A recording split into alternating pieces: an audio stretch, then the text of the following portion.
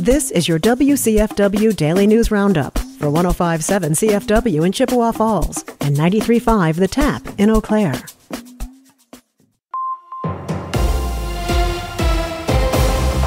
Civic Media News.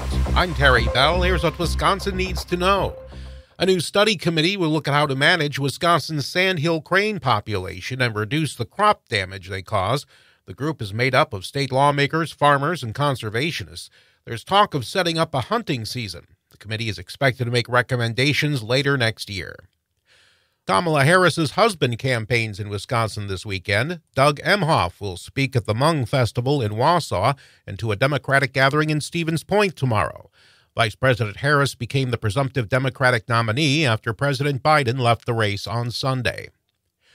The Summer Olympics start today. As Lisa Hale reports, Wisconsin will be well represented. 18 athletes from the Badger State will compete for Team USA in the Paris 2024 Olympics. The biggest name competing might be Indiana Pacers' Tyrese Halliburton. He's an Oshkosh native on the men's basketball team. The Paris Olympics officially kick off Friday and will last through August 11th. For Civic Media, I'm Lisa Hale. A proposed new building in Milwaukee would be the tallest in Wisconsin, and as Stuart J. Waddles reports, it would be the biggest wooden building in the world. A developer has been selected for the Marcus Performing Arts Center parking garage project. The $700 million effort could include up to 750 residential units, office and retail space, a hotel, and structured parking. Mayor Cavalier Johnson is praising the development, citing its potential to enhance the city's economic and urban landscape. Stuart J. Waddles reporting. Wisconsin wildlife officials are offering $25 rebates to get people to buy new endangered resources license plates. The plates raise money for the Natural Heritage Conservation Program and efforts to protect and restore native plants and animals and state natural areas. Senator Tammy Baldwin is introducing a bill to prevent sudden hospital closures like the ones in Eau Claire and Chippewa Falls this year. The bill requires large hospitals to notify federal agencies of a pending closure at least three months in advance. Baldwin is running for a third term against challenger Eric Hovde. I'm Terry Bell, Civic Media News. Now here's what you need to know closer to home. For WCFW News, I'm James Kelly. The city of Altoona is seeking volunteers to participate in copper and lead water testing. According to a Facebook post, the Wisconsin Department of Natural Resources requires the city to test for copper and lead to ensure the drinking water is safe. The city is also looking for homes that were built before 1983 that have not had their interior water service lines replaced, as those homes are eligible to participate in another testing program. Interested volunteers can contact the city for more information. Joining Our Neighbors Advancing Hope, or Jonah, held a rally at Wilson Park on Thursday calling for more public transportation in the city of Eau Claire. According to a WEAU report, organizers of the rally say their goal was to inform residents of how important public transit is as an essential service for the community and call for an expansion of funding and options by the city. They say at least 100 people attended the rally, including community members, public transit riders, and elected officials.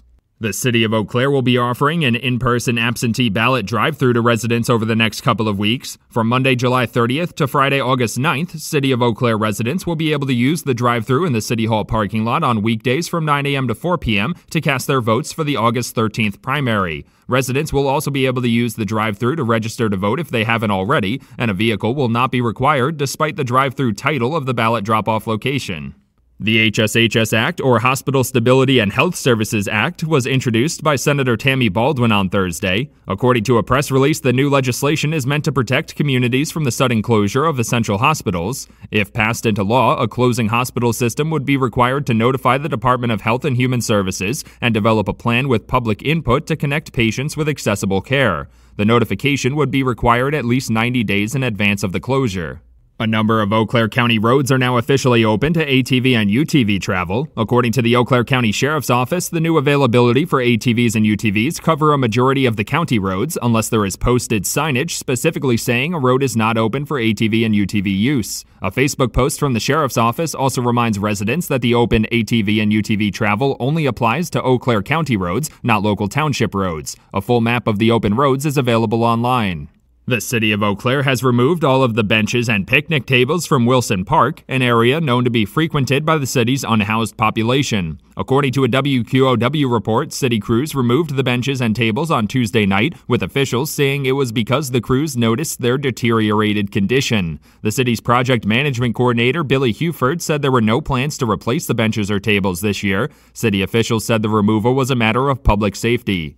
The Dunn County Fair is officially underway with good weather in the forecast all weekend. According to a WQOW report, this year's theme for the county fair is Christmas in July, so the fairgrounds have been decorated with Christmas lights and trees. The fair will run through Sunday, and admission is $5 per person or $15 for a season pass. Kids under the age of six can get in for free, and there will be no charge for parking. A full list of events and activities is available on the Dunn County Fair website.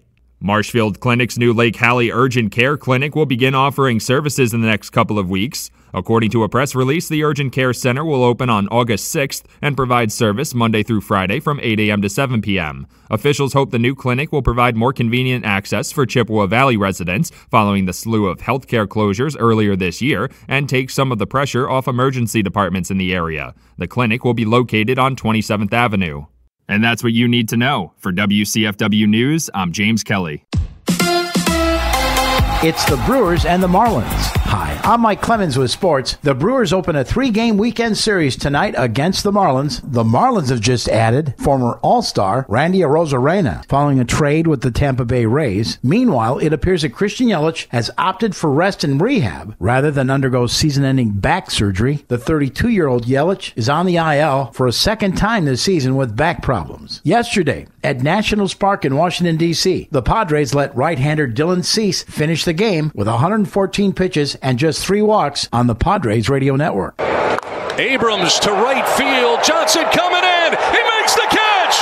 No hits for the Nats. Dylan Cease throws a no hitter. The second no hitter in Padres history. There'll be a sea of San Diegans celebrating back home today. The Padres won 3 to nothing. NFL training camp, the Packers now practicing in pads today, tomorrow, and Sunday. Meanwhile, Jordan Love contract talks continue. With Sports, I'm Mike Clemens. On your entertainment beat, I'm Pete Schwaba. There's an expected huge blockbuster movie opening this weekend in theaters. Deadpool and Wolverine has been highly anticipated all summer and stars Ryan Reynolds as Deadpool and Hugh Jackman once again as Wolverine. The film should clean up at the box office due to the popularity of the franchise, the studios behind it, Marvel and Disney, and the 81% on Rotten Tomatoes does not hurt either. There's something for comedy fans that opens this weekend too The Fabulous Four. The movie stars Bette Midler, Susan Sarandon, Sheryl Lee Ralph, and Bruce Greenwood. The Fabulous Four is being called an uproarious comedy by the makers behind it. The plot sees three lifelong friends road trip to Florida to attend the wedding of another lifelong friend, Bette Midler. The film will have to rely heavily on the popularity of its actors and their track records, as it is not reviewing particularly well. Then again, if you like the genre, the comedy doesn't necessarily have to be uproarious. At 15%, you just hope it doesn't make you clinically depressed. Have fun at the movies.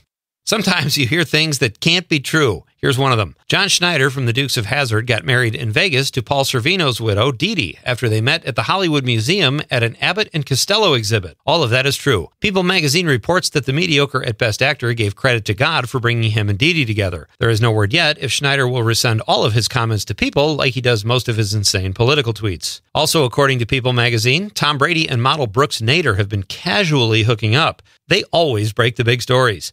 People's inside source did not clarify if casually hooking up meant that when Brady gets together with Nader, he wears JCPenney activewear, or if he's rounding third and headed for home. To be fair, an additional source says that they are not dating, and yet a third source says appropriately, who cares? Another season of horrible television is in the books after the Kardashians' season 5 finale. In riveting fashion, they all learn their biological ages, with O.J. Simpson's daughter Khloe learning that despite being 39, a TV quack doctor hired to protect the brand informed the least popular sister her biological age is actually 28 whatever the hell that means. Other Kardashians who fared well were mom Kris, who found out she's actually six years younger than her actual age of 68.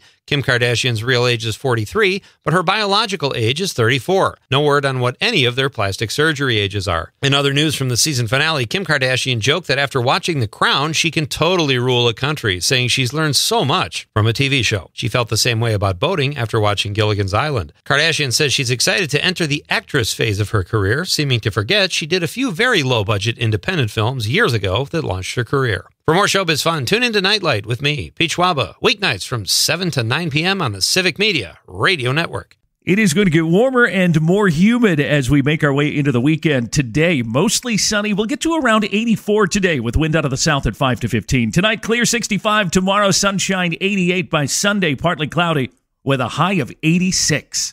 I'm meteorologist Sean Cable. Currently, it is 66. That's your WCFW and the TAP Daily News Roundup from Civic Media. Subscribe to this podcast on Spotify, Apple, or wherever you find your podcasts. Find more news at WCFW.FM or thetap.fm.